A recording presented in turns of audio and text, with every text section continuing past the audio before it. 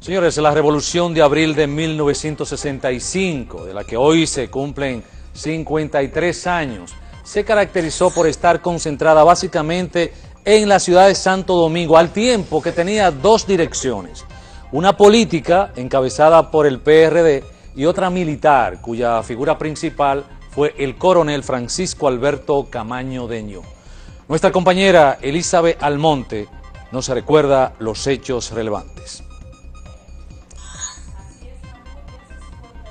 De esa gesta histórica que marcó un antes y un después en la historia reciente de la República Dominicana. Un hecho, un hecho sin precedentes en el que no solo los militares se lanzaron a las calles, sino también el pueblo, niños, jóvenes, mujeres, todos en una misma meta, con una misma consigna, retornar a la Constitución que entendían que era la única que realmente guardaba los ideales del pueblo dominicano y la que debía prevalecer. A continuación analizaremos todos esos incidentes para retornar entonces a la República Dominicana de hoy en día y qué tanto ha cambiado en la historia. Revolución de Abril de 1965 fue un movimiento cívico-militar que se caracterizó por la participación activa, militante y armada de las masas populares, hombres y mujeres, con la finalidad de volver al gobierno legítimo y constitucional de Juan Bosch. Tuvo lugar entre el 24 de abril y el 3 de septiembre del 65, la mayor manifestación de responsabilidad ciudadana en siglos. Un reconocido locutor y joven político de la emisora Santo Domingo, de nombre José Francisco Peña Gómez, llamaba al pueblo a lanzarse a las calles para apoyar a los insurrectos. Igualmente, el locutor Freddy Verascoico alertaba sobre los arrebatos de los cascos blancos de la Policía Nacional, las primeras voces de la Guerra de Abril.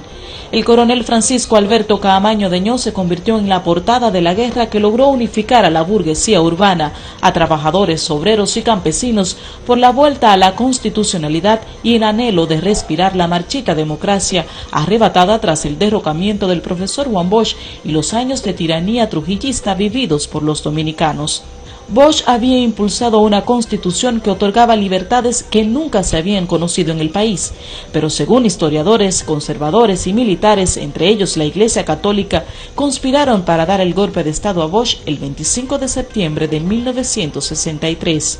En la Revolución de Abril de 1965 también las mujeres se integraron a la lucha, estuvieron involucradas en tareas audaces, como en entrarse en el manejo de las armas, tipificar sangres de los combatientes, trasladar armas, procurar combustible y enterrar a los muertos, tareas imprescindibles y riesgosas sin las cuales no hubiese sido posible la resistencia. Tras 30 años de sangrienta dictadura, el país saboreó la plena democracia, pero le fue privada una constitución diseñada a la medida de la gente. Pero el arrebato, 53 años después, continúa, y la nación duartiana aún ve romper y desmontar su constitución para confeccionar trajes a la medida de los intereses de turno.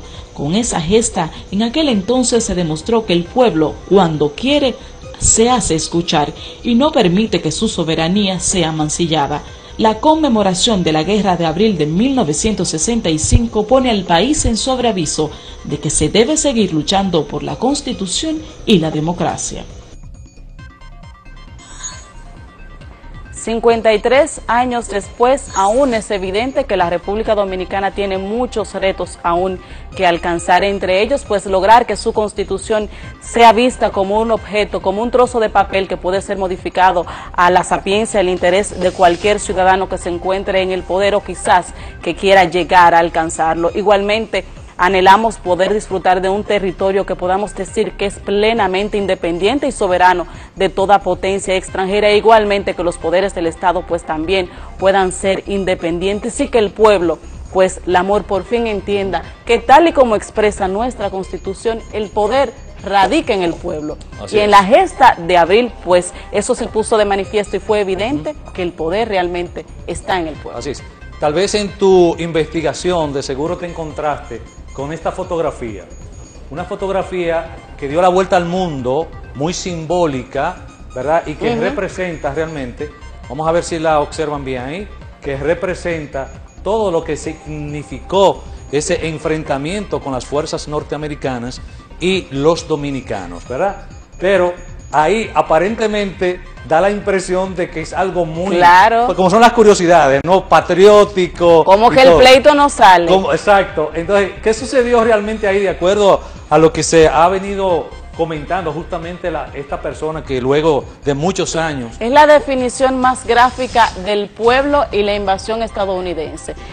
Representada por el, el fotógrafo Juan Pérez Terrero, quien significaba en esta, en esta fotografía que el pueblo se hartó, lanzó, se lanzó a las calles e independientemente de que lo superaban pues los invasores, los estadounidenses, demostró que el poder estaba en sus manos y con esas dos piedras se enfrentaron a los invasores. Pero fíjate una cosa, Elisa, que es el asunto de que eso es lo que aparentemente todos hemos creído, pero la persona a quien se le hizo la foto años después dice y confiesa que, como son las coincidencias, pero bueno, que simplemente este señor, que para, para ese momento tenía unos 25 años, se había dado unos tragos ese día, en medio de la revolución.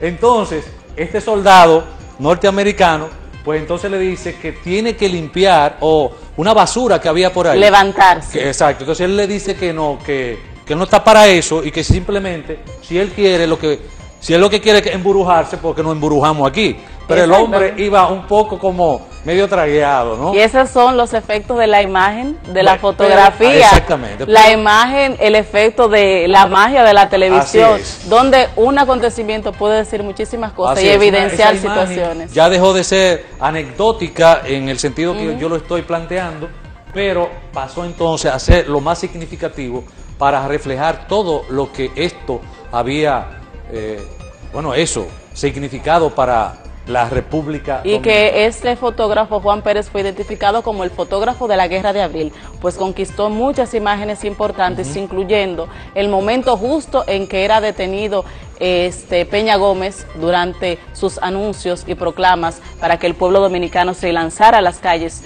a reclamar la vuelta a la Constitución. Gracias, Elizabeth Almonte. Señores, y la Fundación Camaño en Bonao depositó una ofrenda floral en el monumento a los héroes de la gesta de abril, donde aprovecharon el escenario para reclamar obras y el cese de la impunidad. Ahí se enseñó lo que es la idea de Francisco Alberto Camaño de la revolución por una democracia del pueblo. Entonces eh, debe estar la democracia en el pueblo porque al pueblo le pertenece. Y creemos que los que nos gobiernan deben tener muy bien claro que la revolución llevó un mensaje muy claro. Ser demócrata, demócrata, ser libre y no entregarle lo que es la bandera que tanto le costó a los patriotas del entonces, entregársela a ninguna nación, a ninguna potencia. Entonces, cuando tú entregas los ideales tuyos a una nación por mezquindad de, que tú no entiendes que el pueblo dominicano es libre y soberano, tú le estás dando la democracia a quienes te van a poner en un lugar determinado a dirigir una determinada institución. Por su parte, el Centro Educativo Francisco del Rosario Sánchez en San Juan de la Maguana recordó con una ofrenda floral en el busto de Francisco Alberto Camaño el 53 aniversario de la Guerra de Abril de 1965. El licenciado José Manuel Uribe Sánchez, director de la escuela, manifestó que la Revolución de Abril llevó el mensaje de ser demócrata y no entregar la bandera a naciones extranjeras. Ahí se enseñó lo que es la idea de Francisco Alberto Camaño de la revolución por una democracia del pueblo. Entonces eh, debe estar la democracia en el pueblo porque al pueblo le pertenece.